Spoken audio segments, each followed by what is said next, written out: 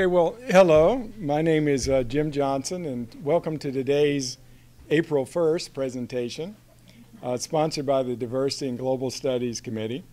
Our presenters are OCTC faculty uh, Mr. Matt Alsbach, History, and Mr. David Martin, Chemistry and Math. And they're back by popular demand after their last presentation, Prohibition, Alcoholism, and the Chemistry of Moonshine.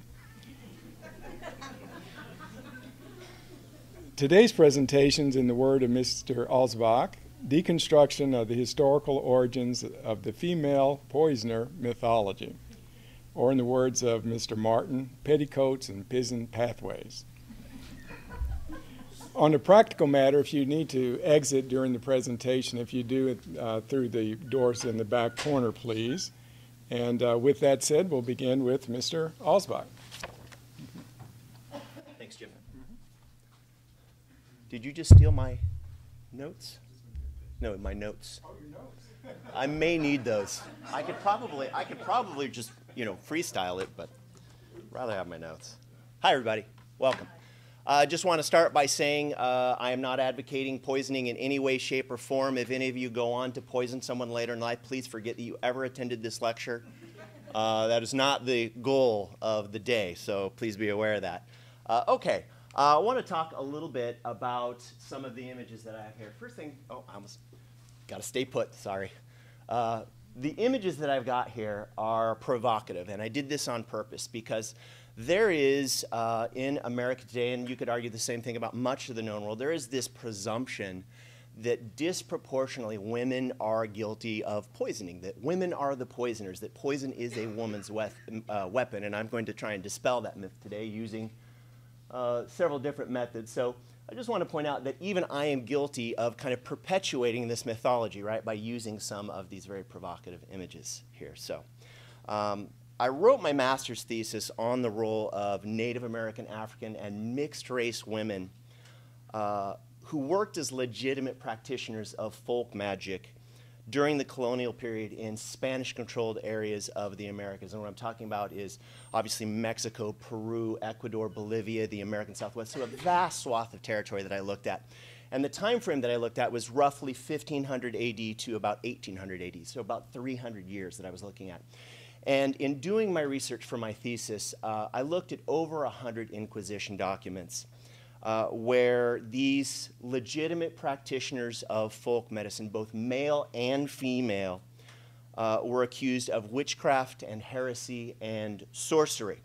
Uh, and one thing that I want to emphasize just right off the top is that when Spaniards arrive in the Americas beginning 1492, obviously, and moving forward, a period of colonization and imperialism that lasts about 300 years. During that period, uh, the Spanish and the Catholic Church become absolutely obsessed with stamping out folk medicine because um, for Native American uh, practitioners of folk medicine, which again was quite legitimate, uh, Europeans see this as heretical. They see it as demonic. They see it as diabolical. They see it as witchcraft because Native American practitioners typically fuse some, some supernatural elements with legitimate medical cures. And so that plays a role in this. Uh, the Inquisition documents that I looked at often featured a woman being accused of casting a spell on someone, usually a man, by poisoning them, typically by introducing some foreign substance to their food. So that was a consistent theme that I saw in these Inquisition documents that, you know, there was this perception that it was witchcraft. That's why the Inquisition got a hold of this case. But in fact, in most cases, the woman was adulterating the victim's food in some way. And this is the, the, so there's this perception of witchcraft. As I read through these Inquisition accounts, I was really surprised at this pattern that developed. Women, with few exceptions, were the ones who were accused of casting a spell on a male uh, a spouse, an employer, an owner in the case of slave women, uh, or an enemy by adulterating their food. And so the case I intend to make today is that historically, women have been viewed as the gender more likely to use poison as an instrument of murder in order to somehow improve their lives. So women are taking agency. They're trying to improve their lives by, by eliminating a problem. Whether that problem was an abusive slave owner, a troublesome spouse, a patriarch that uh, just wouldn't die of natural causes so that the poisoner could get his or her inheritance. That's actually a very common way that we see poison used uh, both in the old world and the new. Uh, you know, there's a, a, person that is, you know, got a lot of money and they, you know, they just seem to live on forever. And so someone poisons them to eliminate them so that they can get their inheritance. We actually see that quite a bit.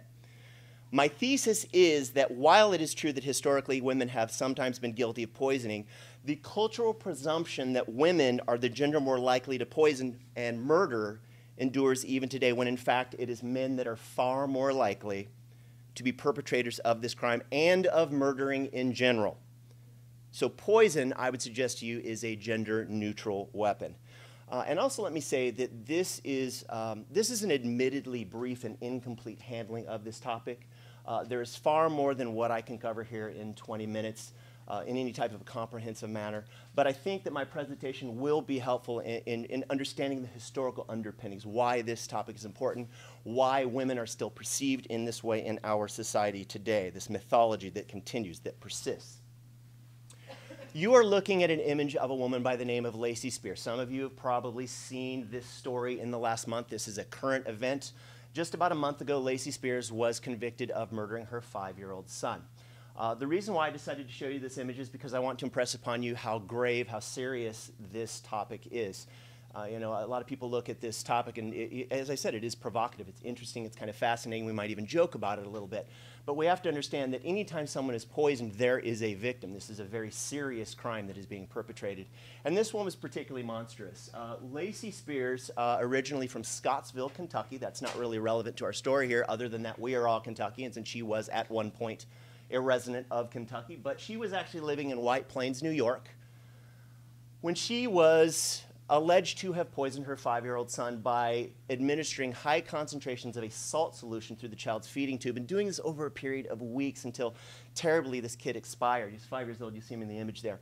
Um, the reason the, the media really got hold of this story and ran with it was because of the nature of the crime. She was actually using social media. She was uh, trying to elicit empathy, trying to elicit sympathy from friends and family members on social media. She was blogging about it, saying, you know, she couldn't understand what was going wrong with her son, et cetera, et cetera, when all along she was the poisoner. And so the media really grabbed onto this because of the inherent shock value, because it was such a horrifying crime, because it was a woman doing the murdering, and obviously because she was uh, targeting her own child. Obviously, quite a grim story. One of the things that I want to argue today is that the media's coverage actually perpetuates this belief that women are more likely to use poison to kill than a man would be, and I will dispel this myth a little bit later on in the talk.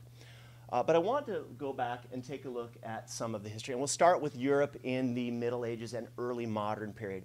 So we've got some, some interesting images here, all of them of female practitioners of folk medicine. And I want to emphasize again that we're both male and female practitioners of folk medicine. But women, you know, they had a carefully set of circumscribed roles, and one of them was working as a, a medical professional. This is what passes for a doctor in the Middle Ages in Europe. So if someone is sick, if someone is ill, if they need a treatment, uh, if a, a, child is to be born, obviously midwives would handle that role. So women have this set of roles that have been kind of circumscribed to them. They operate in this particular field. And I want to emphasize that European women were actually very talented as medical practitioners. We would call this folk magic. But they had an incredible understanding of what today we might call homeopathic remedies, right? How to, how to boil a plant or an herb or a root in order to treat a particular malady or to lower a fever. Uh, a number of things that they were very talented at doing. So they had this kind of privileged knowledge, this privileged skill set that made them influential and very powerful. Um, and obviously, that was all well and good as long as the person that they were treating recovered. But what if the patient didn't recover? What if the patient got worse before they eventually expired? Well, when this happened, we know from looking at historical accounts, often that woman was accused of being a witch, of being somehow responsible for the crime, that she had some other scheme in mind. And, and tragically, many of these women uh, in the Middle Ages and early modern period, they are.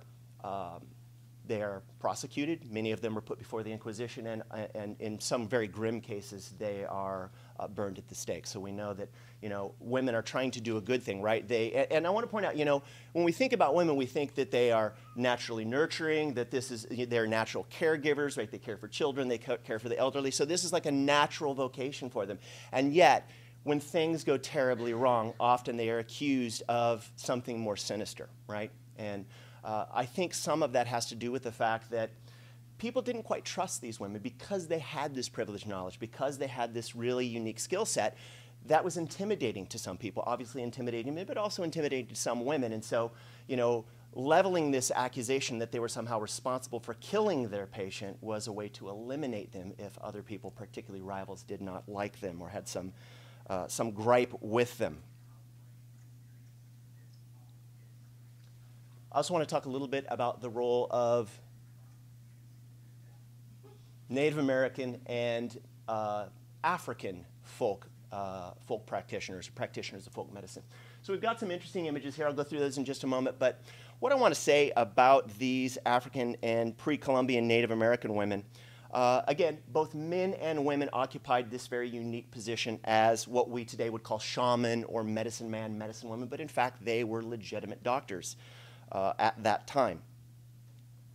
Now, in saying that these practitioners of folk medicine that they were legitimate, let me qualify, qualify this by saying uh, that indigenous African and Native American societies, healers blended legitimate medical cures with supernatural elements. So, for example, they might treat an illness with a legitimate medical remedy. It might be aloe, it might be some sort of medicinal plant, but they would often couple that with some supernatural element. It might be an incantation, it might be a ritual, it might be, they might blow tobacco smoke on the person. They might, uh, they might use a, um, uh, maybe a plant that had some transnarcotic or hallucinogenic or even mildly toxic property, things like morning glory seeds or seeds or uh, peyote, um, uh, marigold flowers, all of these were used by indigenous practitioners of folk medicine. Now, uh, let's take a look at the images because they are, I think, illustrative of what I'm talking about here. If you look at the one on the top right, that is an image that was produced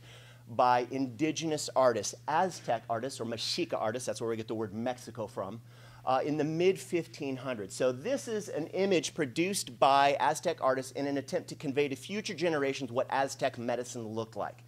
And it, it really does describe what I'm talking about here. You see there on the right, you've got one of two shaman, and these are males in this case. But you can see he is administering, that one on the right, some sort of what is probably a legitimate medical cure. And then the other individual is actually blowing on a conch shell, right? So he's using music. So there is this, this, this other more supernatural element and I will tell you that in indigenous societies and African societies, they saw no, they had no qualms about this. They could easily mix supernatural and medical elements without any problems. There was no compromise, or, or they were easily able to blend these types of practices. But there are other images here that I think are really important too. If you look the one on the left there, that is a Navajo shaman. That is a medicine woman. So when we think about northern Native American societies, don't we usually think about medicine men or shaman? We don't think about women so much, but in fact, women were actually very important in this role. Uh, so we have this Native American shaman, another image of a Native American shaman there, bottom right. But the one that I think is really valuable is, are those, those two images there in the center. After contact between Europe and the Americas, as larger and larger numbers of Europeans arrive in the Americas, and as we start to see this kind of class and caste stratification develop, you have a large number of people of European descent living here, including middle and upper class white folks when you, people of European descent, particularly elites, when they went to a Western doctor or a European practitioner because they were sick, because a family member was sick, because they needed treatment for some illness, and they did not receive satisfaction, the person did not recover, as a kind of last resort, Europeans were willing to go to Native American and African cures and healers. Now we look at these images, it's clear this woman on the left is a slave, probably a slave. But she also provides another very unique service. She is a healer, she is a doctor, and she is employing uh, folk medicine. Now, obviously, it would have been a combination of African practices as well as some Native American practices that she had adopted because of her time here. And so it is really interesting to me that European women, as a kind of desperation move, were willing to rely on indigenous African and Native American uh, medicine in order to treat a family member. So, you know, on one hand, Europeans are really horrified by Native American medicine, right? They're really terrified by it. They feel like it's, you know, dabbling in the supernatural unless someone is really sick and needs treatment. And then they're like, well, you know, I'm willing to try anything if it'll improve circumstances. So we've got some great images here that I think illustrate that.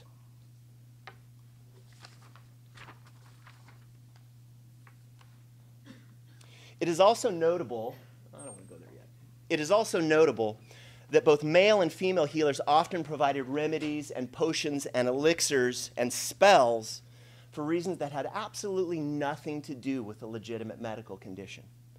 They might pres- prescribe a potion or an, el- an elixir or a treatment uh, for things like punishing an enemy or eliminating a rival or um, compelling uh, a cheating spouse to return to them and love them again, to drive away misfortune, to punish an abusive spouse or an abusive master, again, in the case of slaves. And folk healers, I want to emphasize that these folk healers, when they prescribe these treatments, they prescribe them in much the same way that a modern day doctor might prescribe an antidepressant for someone who is got a, you know, has been clinically diagnosed with depression. But in the case of Native American and African and mixed race folk healers, when they prescribed this remedy, it wasn't for the patient. It wasn't because someone was feeling down or depressed or frustrated. Typically, they prescribed this elixir, this remedy, this potion, this spell uh, to treat the person who was perceived as causing the problem, right? So the idea was, well, I've been, I've been a, a spell has been cast on me, or this, you know, I this the, got this odious situation with this boyfriend or husband or owner or employer who just won't leave me alone, and I just can't take it anymore. And so they would go to a folk healer, and that folk healer would pre- prescribe some sort of potion or remedy that was then to be administered secretly, covertly, with subterfuge to the person that was perceived as causing the problem. But how were these remedies administered? And that brings us to a discussion of women and the domestic sphere. In America in the 18th and 19th centuries, women of African and Native American and mixed race descent lived and worked in what we today would call the domestic sphere. So we're talking about the kitchen, the pantry, the household. So these are women that would have had a, a substantial degree of trust from their employer, from the slave owner, from the master, obviously from their spouse to where they could operate undetected in this domestic sphere. So, to put it another way, any food that was prepared for a slave owner, for an employer, for an abusive spouse, went through the hands of these marginalized women, talking again about African and Native American and mixed race women. I'm going to give you one example of how this was so. Um, we know that in cases where African slave women were either being abused or perhaps one of their family members had been sold off, or they were just in some sort of situation that had become so desperate that they felt they had to exact their vengeance, get revenge essentially on the slave owner, that slave women would boil flypaper. Now, flypaper in the 18th and 19th century contained relatively high concentrations of a heavy metal called arsenic. And so uh, they would boil this flypaper, and what happens when you boil flypaper is um, and this is not a recipe, by the way, I just want to point that out. When they boiled flypaper, it would produce a, uh, a, film, a kind of translucent paste that would collect on the sides of the pot or the pan.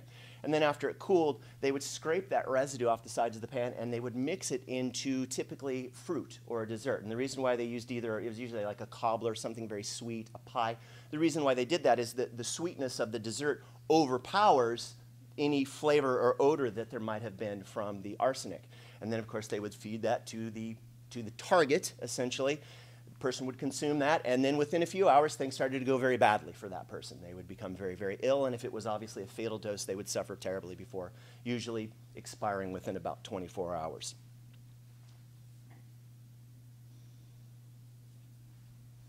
It is also very important to mention that in the 18th and 19th century, stomach ailments were extremely common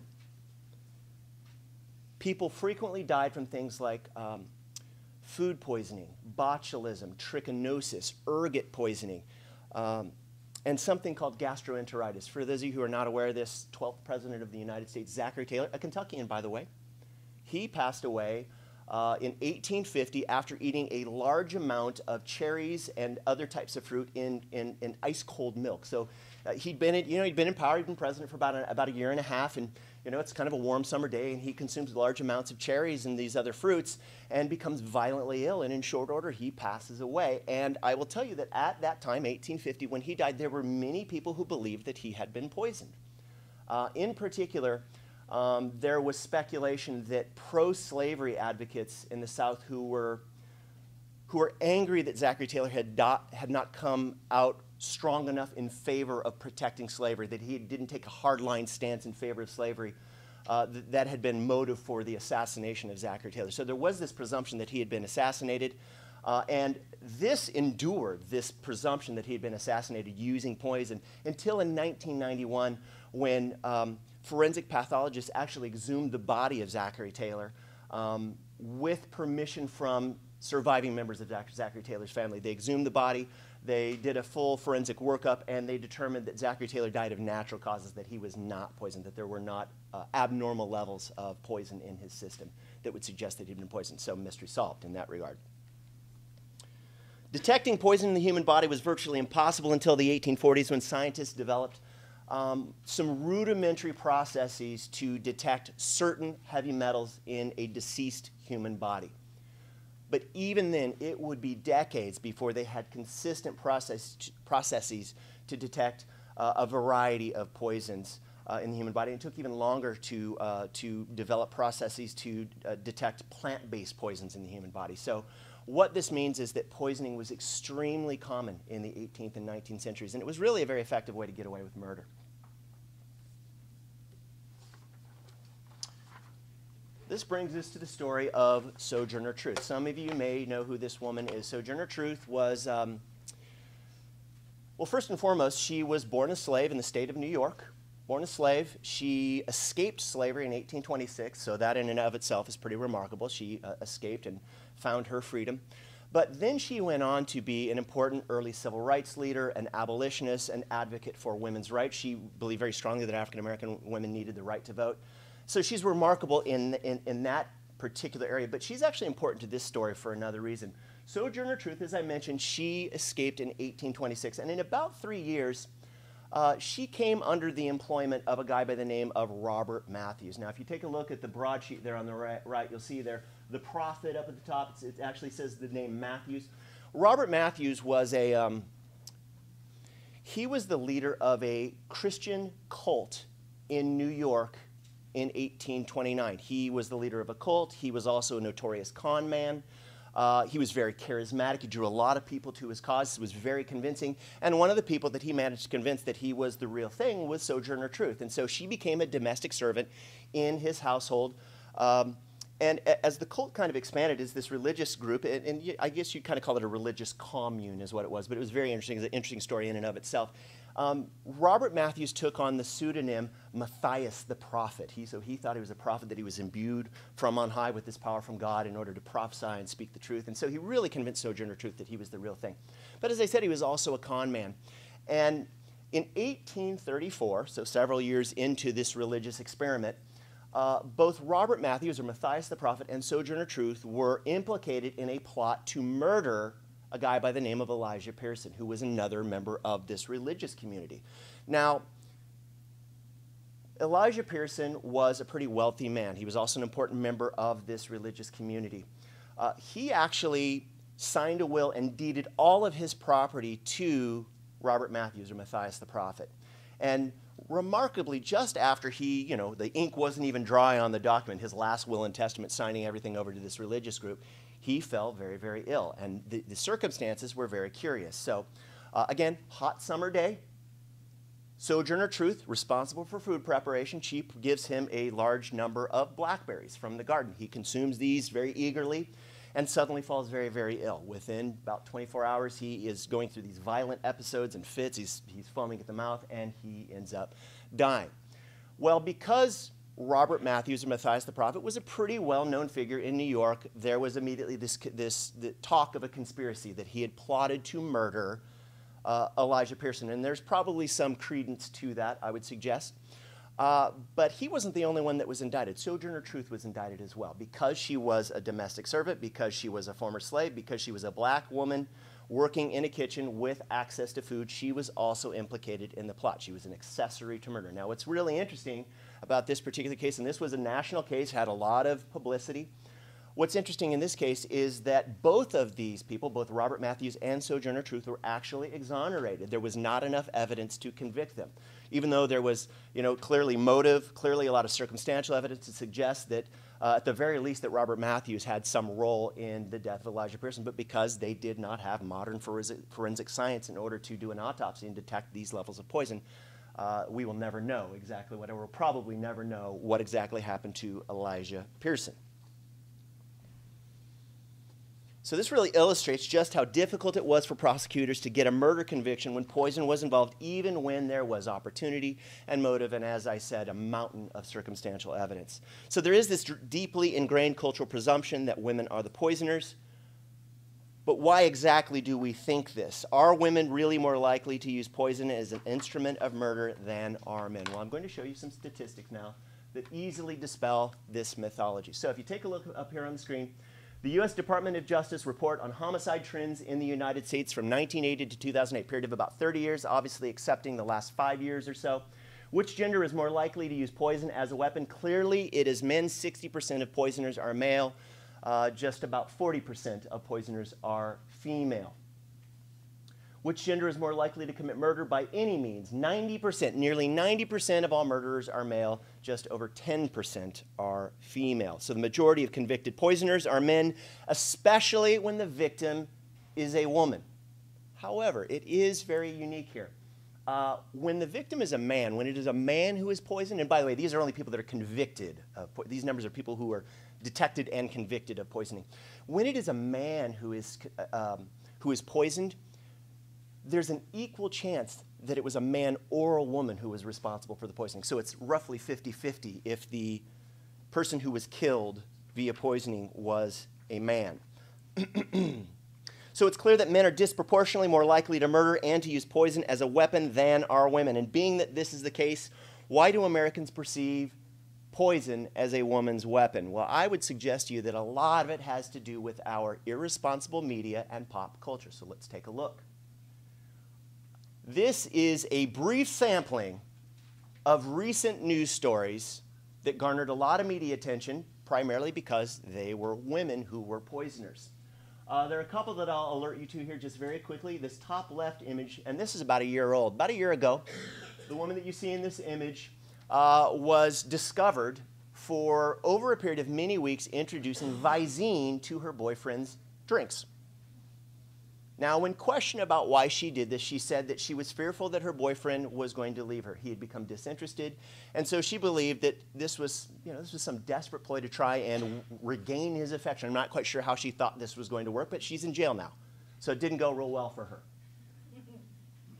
Bottom right, that's actually a case from my hometown, San Diego. About, I think it's been about seven, eight years ago. A woman by the name of Kristin Rossum uh, was indicted on charges of murdering her husband using poison. And what's interesting about Kristin Rossum's case is she was actually a forensic pathologist working for the San Diego Police Department.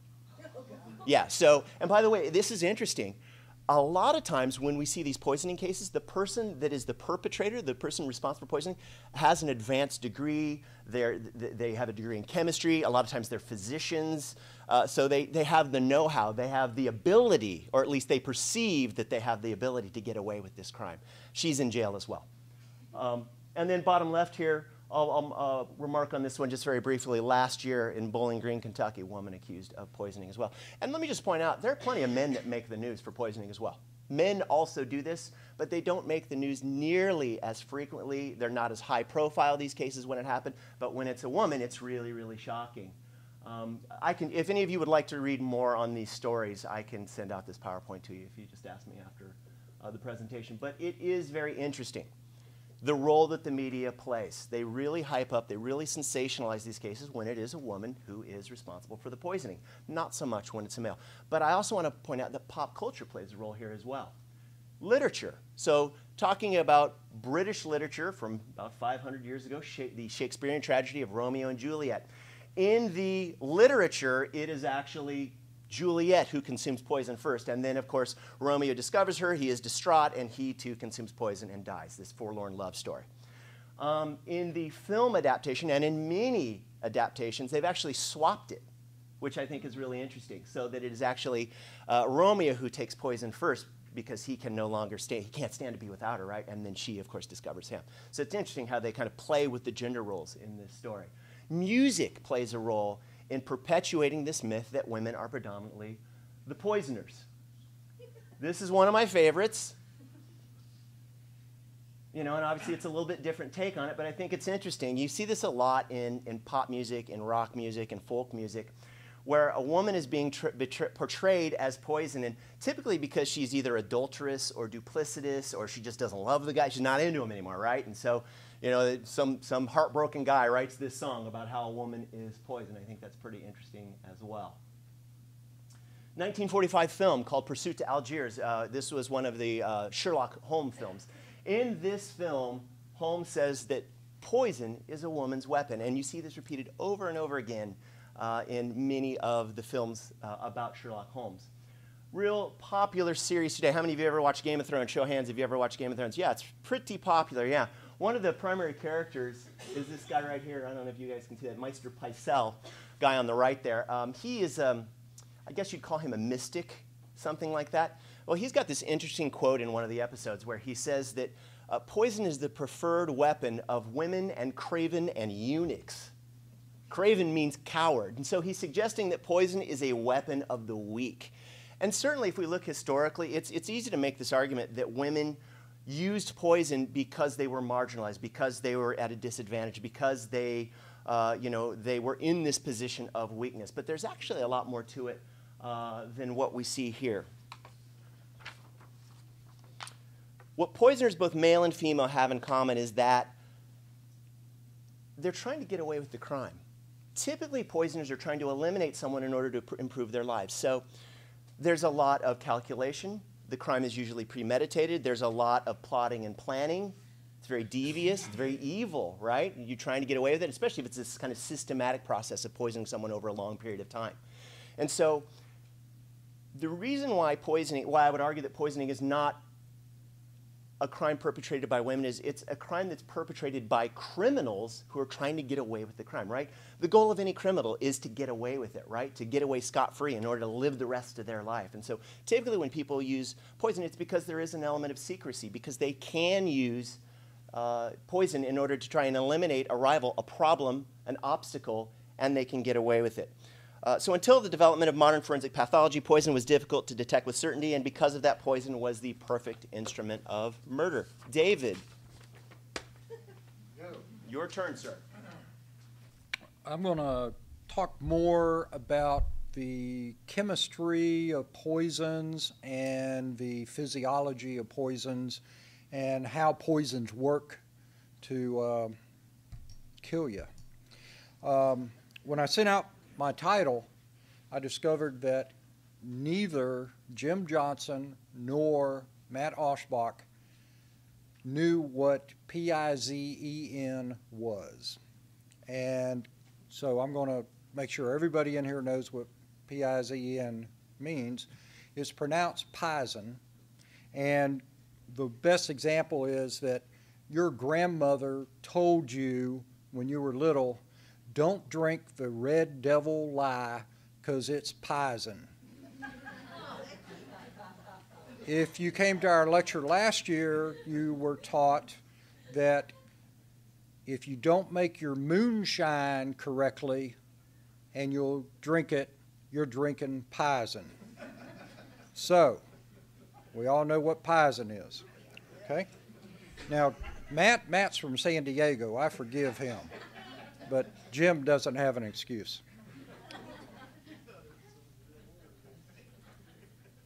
I'm going to talk about five major types of poison today arsenic, strychnine, heavy metals, antifreeze, and anthrax.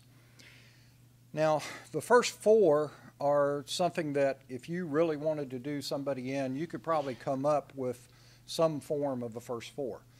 The fifth one, anthrax, you probably won't be able to come up with that yourself unless you have a microbiology lab and you're really, really, really good at microbiology to come up with enough powder to do somebody in. But the rest of them you could probably pick up at Lowe's or somewhere. Now, first one we're going to talk about is arsenic. Arsenic was widely used as a poison in the 1800s and the early 1900s because it was readily available. You could get arsenic anywhere. Um, we're going to explore arsenic a little bit more. Now, arsenic is a nonmetal, but it's right on the dividing line between nonmetals and metals. So it's a metalloid or a semi-metal. It has some properties that are metallic. It has some properties that are non-metallic. I like to say it swings both ways. Okay, it's bisexual. Some days it's a metal, some days it's a non-metal. And it's a, like a semiconductor. Silicon is used in computers. Silicon is a semiconductor because of its uh, electronic structure. Arsenic's the same way. Now, arsenic was widely available. Okay, you could go drugstores. We'll show you some pictures in a minute and buy arsenic. If you were a good child and you were growing up in the 1920s, your mother told you, don't pick up and eat any peanut that you find lying around the baseboards because they sold peanuts that were coated with arsenic powder. And the idea was the mice would eat the peanut, the mouse would die. So if your mother liked you, she said, never eat a peanut off the floor. If she didn't like you, you're on your own. Okay? Now, um,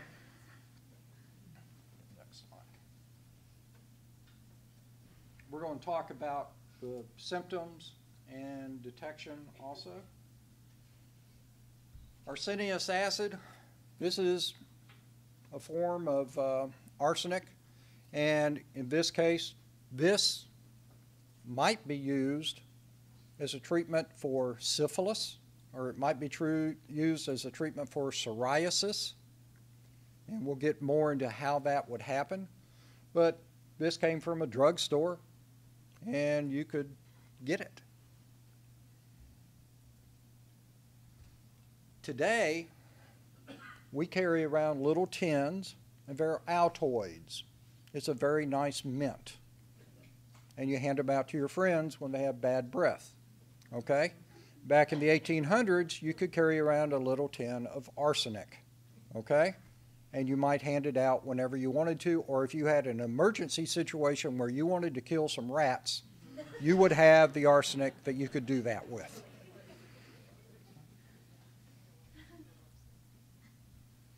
Arsenic trioxide, poison. Um,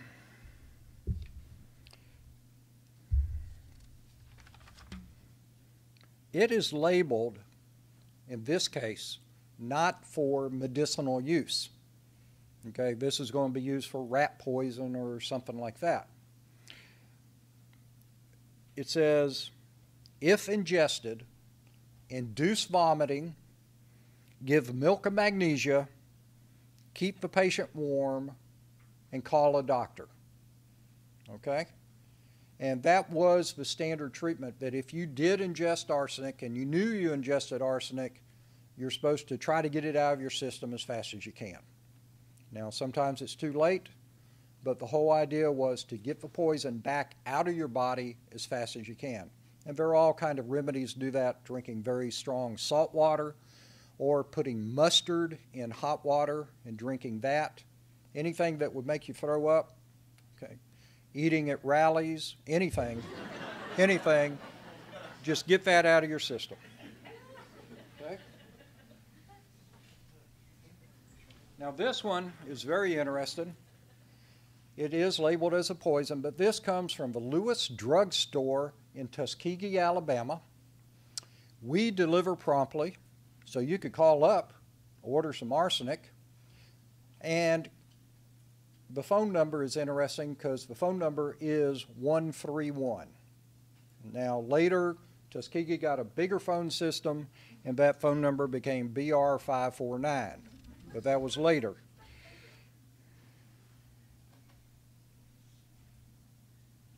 Now, Here's some symptoms. You had a gastrointestinal challenge. That means that you had really, really, really monumental, the floodgates of hell, diarrhea. And now, in, in science, we like to follow things in a logical order. This happens, and this happens, and this happens. And it's the way I, I generally teach in my classes is you got to know this, to know this, to know this. Well, you have this huge GI challenge. That is going to dehydrate you because a lot of water and fluids are leaving your body. And if you have a lot of dehydration, then you're not going to have the water in your cells. And if you don't have water in your cells, you're not going to have the electrolytes going to your cells that you need to live. Your cells operate on ions. Ions are charged atoms. They're atoms that have either gained or lost electrons. So, everything inside that cell, there are a whole bunch of ions potassium, sodium, calcium, other ions that are essential to make the energy pathway inside the cell work. If you disrupt that energy pathway by not having enough ions because you don't have enough electrolytes, your cell is going to die. And once you have cells that die, if there's enough of them that die, you're in trouble. Arsenic would also affect your kidneys because it's killing the cells. It would kill cells in your kidneys, and your kidneys would shut down, and then you're in bad shape.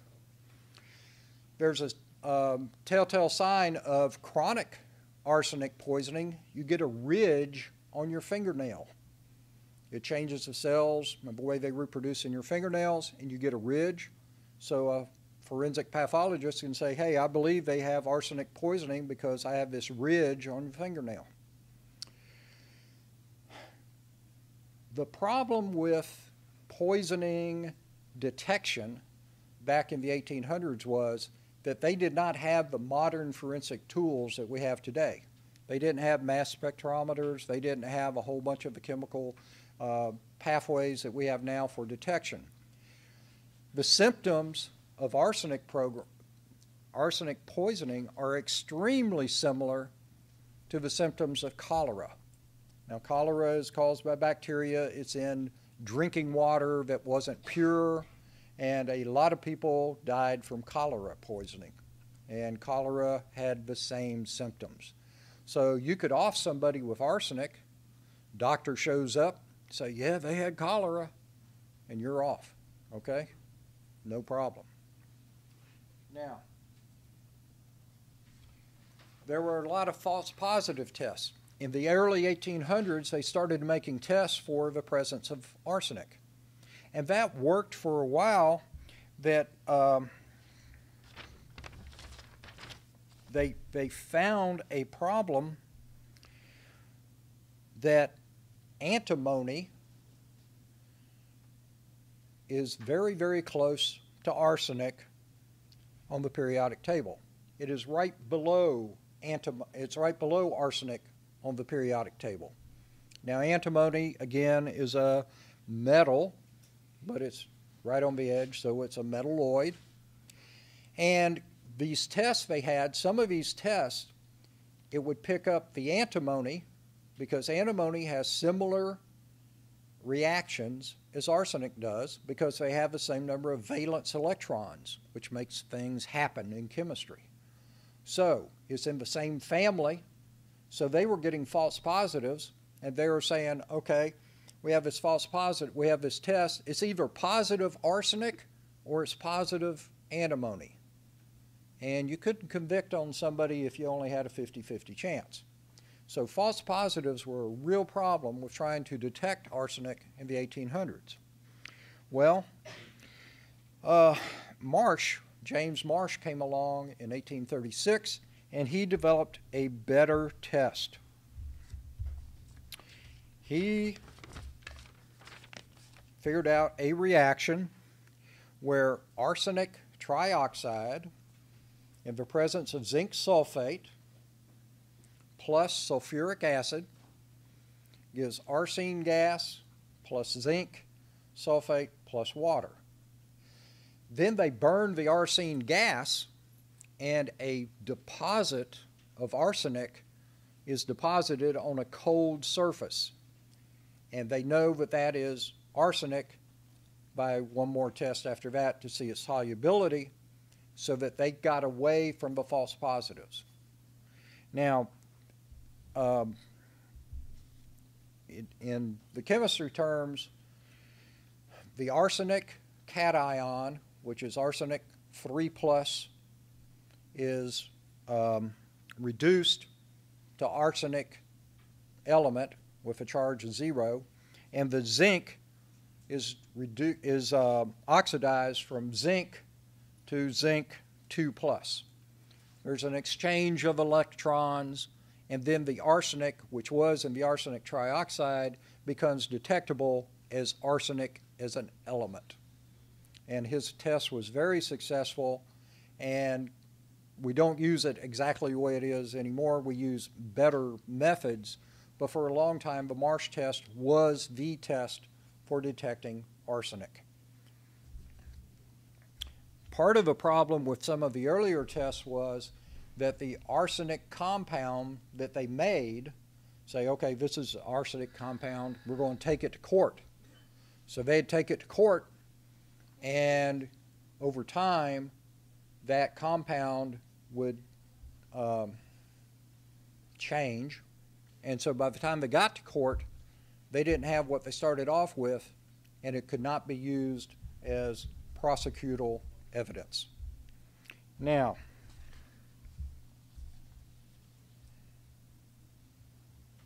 strychnine.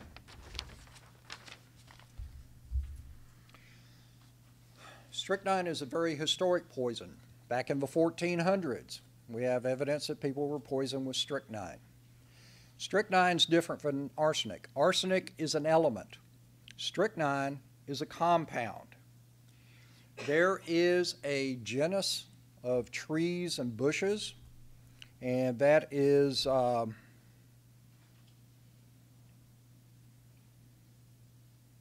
don't have a name, but it's a genus, and that has several species, maybe 200 species, and it has been around for a long time. This is the structure of strychnine. It has a carbon at every intersection, and it has some more hydrogens. We don't show all the hydrogens. It also has a benzene ring. If you look on the uh, left hand side, that's a benzene ring. Now, Strychnine comes from seeds. If you know the right tree or the right bush, you can get the seeds and you can concentrate the poison. Now, the pathway is a little different than for arsenic. Arsenic disrupts the electronic, the balance inside your cells.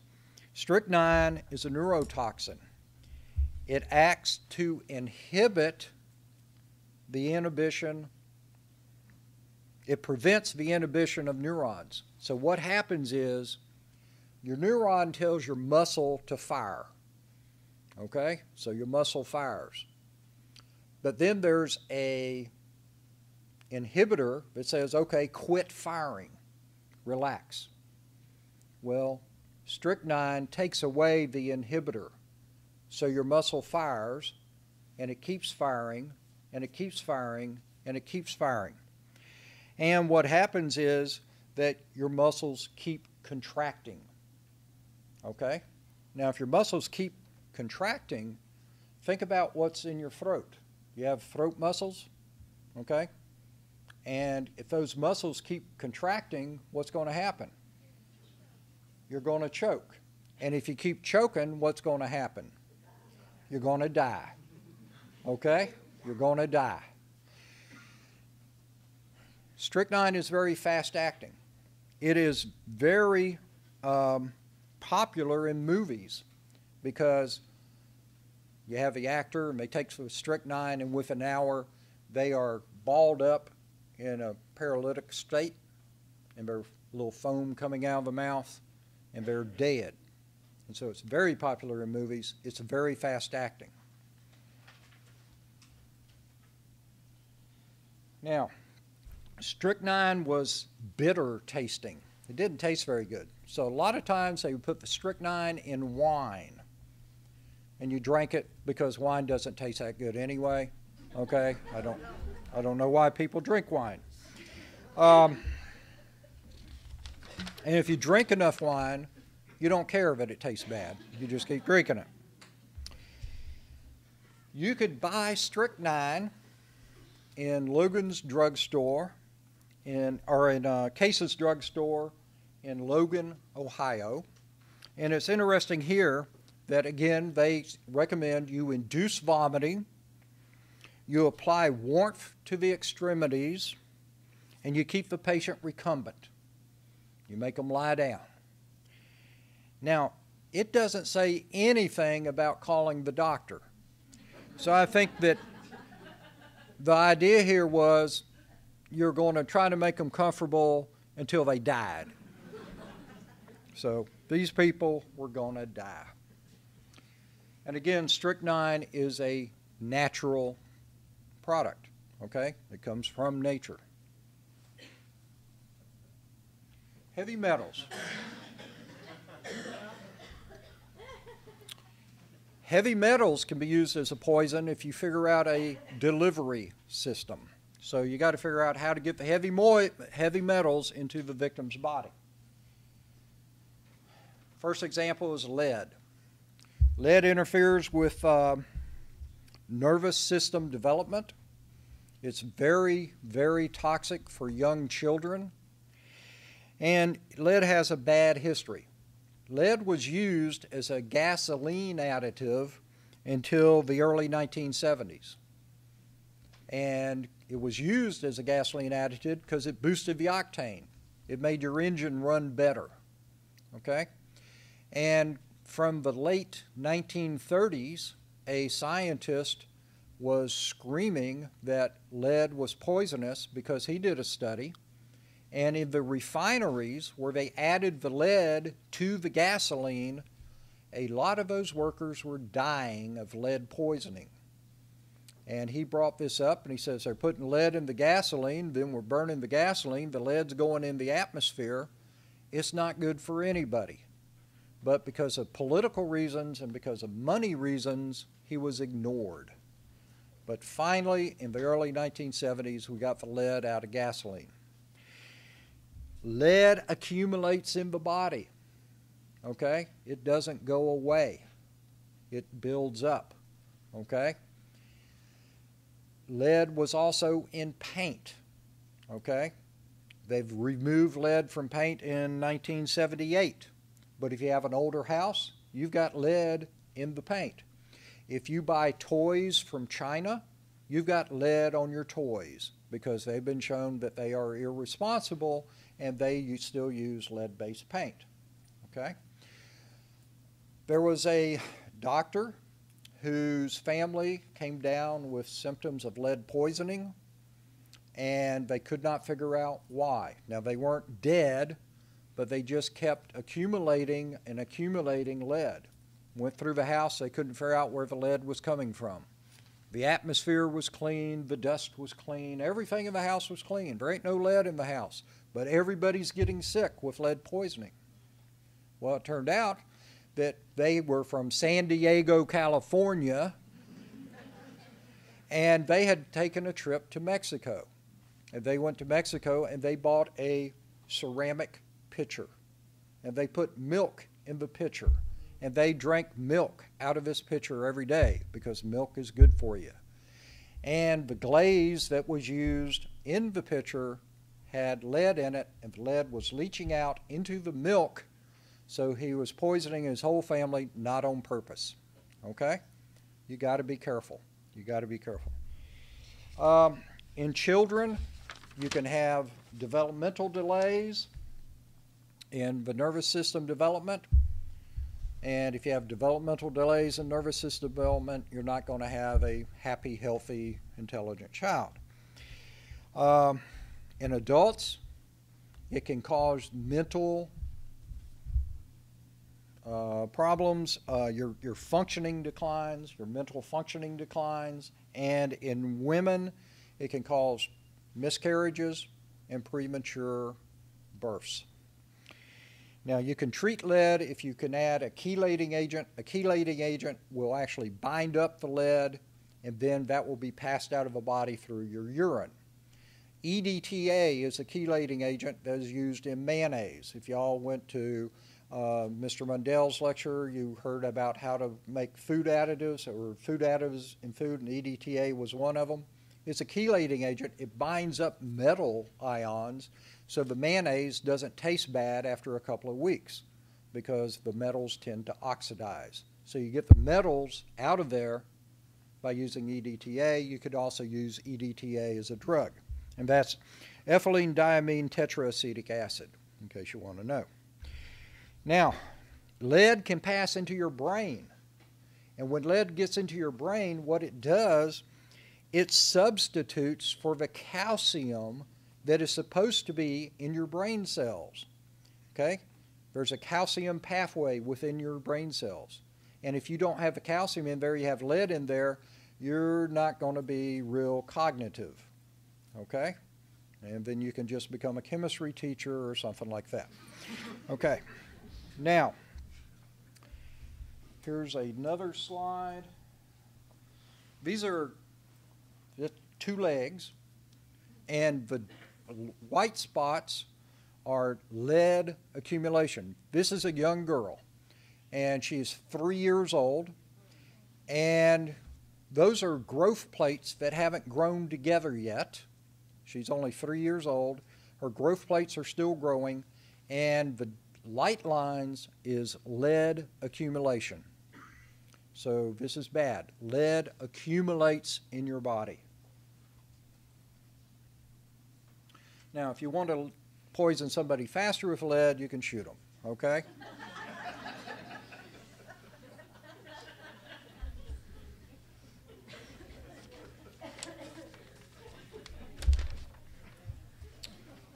Now, the good news is that for lead, we've taken it out of gasoline, we've taken it out of paint, and we're also taking it out of ammunition that used when you, that's used when you go duck hunting or something.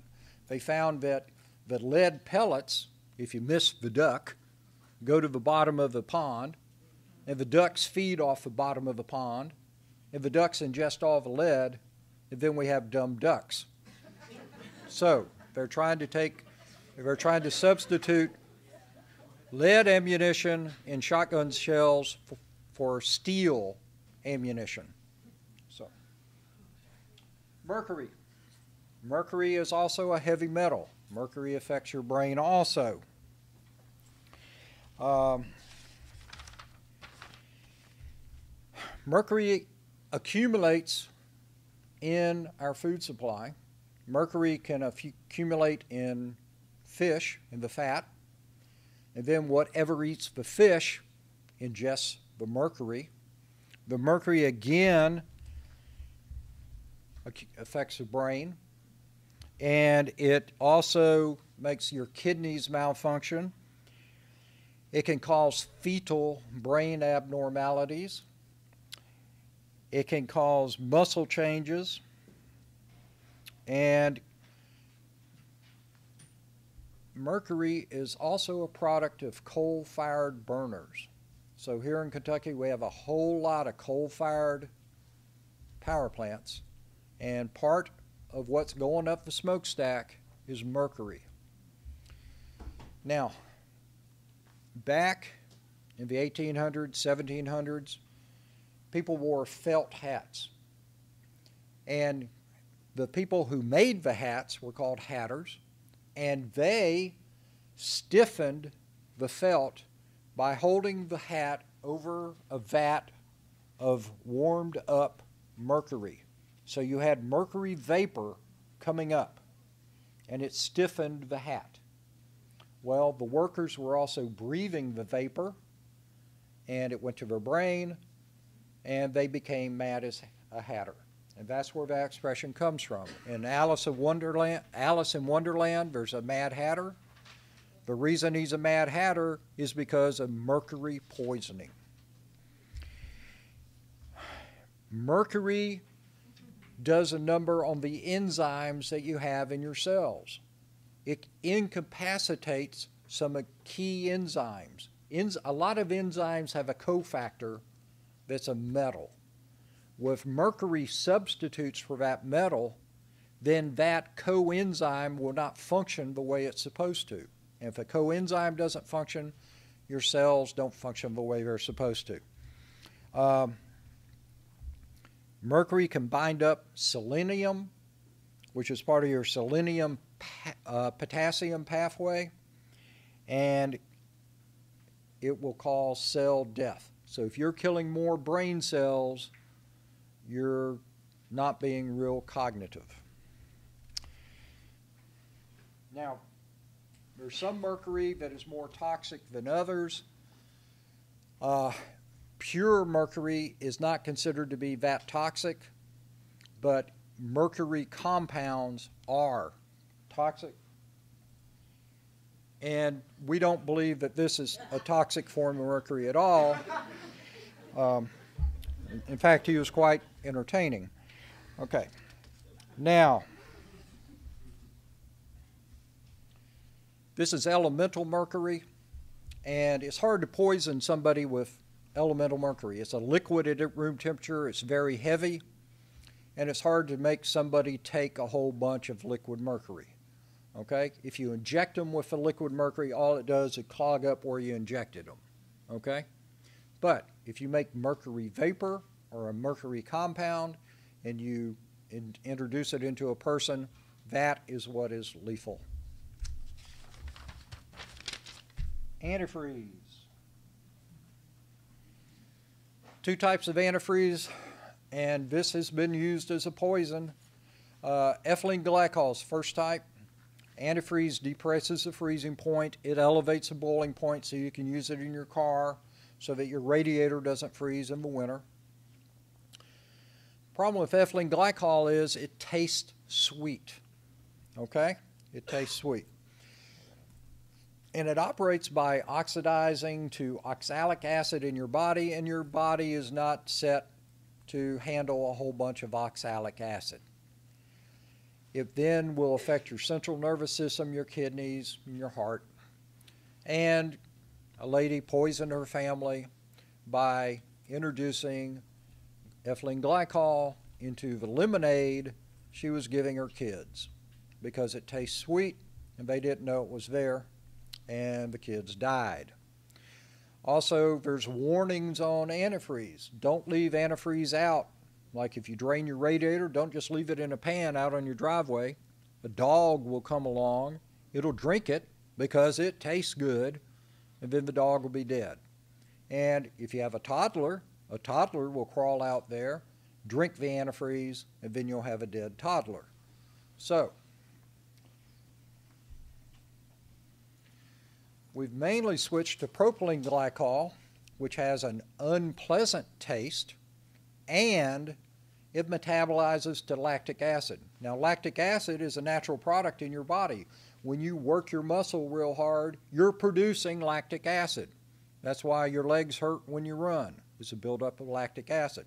So the body can um, handle extra lactic acid much better than it can handle oxalic acid.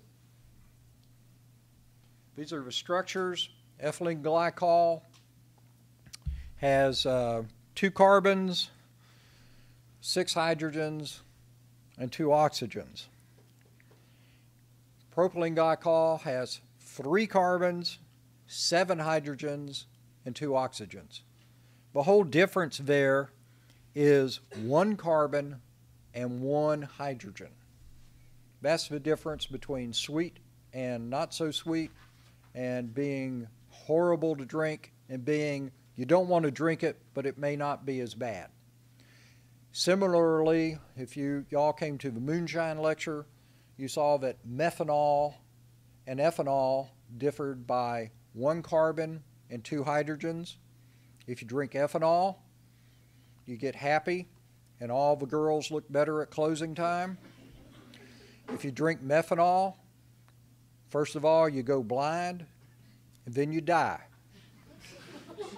and the whole difference is one carbon and two hydrogens. Similar thing here. A small difference in structure in chemistry can do an awful lot of difference in what it does to a person. And finally, anthrax. Okay? Now, these guys are a band. I do not know why.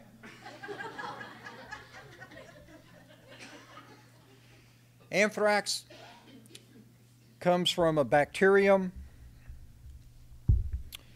and that bacterium produces a toxin, and the toxin can be dried to a powder. And anthrax acts because it has three proteins, and these three proteins work together to kill you. One protein um, will bind to the cell and make a pathway into the cell. The other two proteins go into the cell and they screw up all your enzymes. So your cell dies. Now, you've heard about anthrax poisoning since 9 11, and they were sending envelopes of anthrax to the White House and to Congress and all that. Okay? y'all can't just go down to the drugstore and get some anthrax, okay? You have to have a microbiology lab, you have to grow, grow the cultures, you have to isolate the toxin, you have to dry it. The problem is anthrax hangs around forever. It's a natural um, part of the soil, okay? Animals usually get anthrax if they eat plants that scar the inside of their esophagus or their stomach, so you have a bleeder, and then the anthrax bacterium can enter the bloodstream and reproduce, make the toxin, and kill the animal. So then you have a dead cow, died of anthrax. So you bury the cow. Okay? The anthrax continues to thrive in the soil. Okay? So you see old Western TV movies or movies, and they're saying, look out, it's an anthrax epidemic. Okay? Well, anthrax is, is eh, just about everywhere. It's just you don't want to concentrate it and you don't want to put it in an envelope and send it to anybody. But the, the three proteins act together. If you take away one of the proteins, it's not going to work. And those are representations of proteins which are very, very large molecules. Uh, you can get anthrax by breathing it, or by eating it, or by putting it in, in a cut. Okay?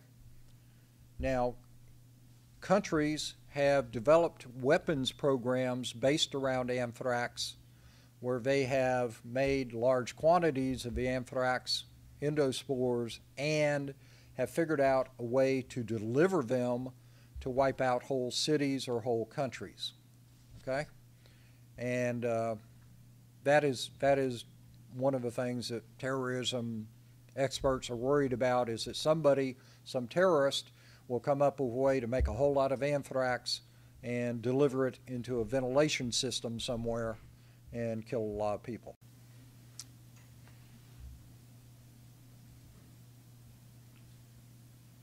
And we've covered this. Oh, it also in, uh, kills your macrophage uh, uh, portion of your cells. So your natural immunity system, it kills that. So you can't get the anthrax out of your cells. Finally, it, it's hard to see. Uh, this man is blue. He's a silverish blue color. And this is just one more thing about poisons. This guy worked in some factory somewhere that used silver in their process. And he inhaled a lot of silver. And the result of inhaling a lot of silver is it changes your skin color to silver. So he is technically poisoned. Okay, he's a nice blue color. He looks like a smurf. And he has silver poisoning. So my conclusion is that things that you can put into your body that will disrupt anything that has to do with your natural processes inside your cells is not good for you.